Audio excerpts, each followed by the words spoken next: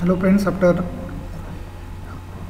studying the different component or part of the theodolite, transit theodolite and their types, today we are going to see what are the different terms in the theodolite survey. So friends, in this slide we are going to see terms used in the theodolite survey that is centering. So, so the centering means setting the theodolite exactly over an instrument station so that its vertical axis lies immediately above the station mark. It can be done by means of plumb bob suspended from a small hook attached to the vertical axis of the theodolite. For centering, shifting head assembly slash arrangement is provided with the instrument. It helps in easy and rapid performance of centering.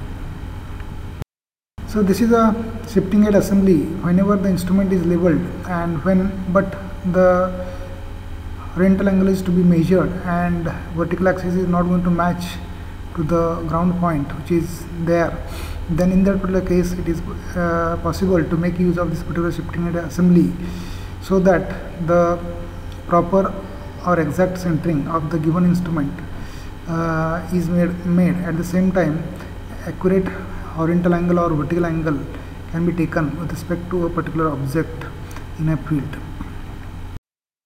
Then the second term is transiting. Transiting is also known as plunging or reversing. It is the process of turning the telescope about its horizontal axis through 180 degree in the vertical plane, thus bringing it upside down and making it point exactly in opposite direction. Then we are going to study in the next term that is swinging the telescope. It means turning the telescope about its vertical axis in the horizontal plane. A swing is called right or left according as the telescope is rotated clockwise or anti-clockwise. So in this slide we are going to see another term that is face left. If the vertical circle of the instrument is on the left side of the observer while taking a reading, the position is called the face left and the observation taken on the horizontal or vertical circle in this position is known as face left observation. Then we are going to study the face right term in the theodolite traversing. If the vertical circle of the instrument is on the right side of the observer while taking a reading, the position is called face right and the observation taken on the horizontal or vertical circle in this position is known as face right observation. Then next term is changing face. It is the operation of bringing the vertical circle to the right of the observer if originally it is to be left and vice versa. It is to be done in two steps. Firstly, revolve the telescope through 180 degree in a vertical plane and then rotate its, it through 180 degree in the horizontal plane. That is, first transit the telescope and then swing it through 180 degree. That is called changing face.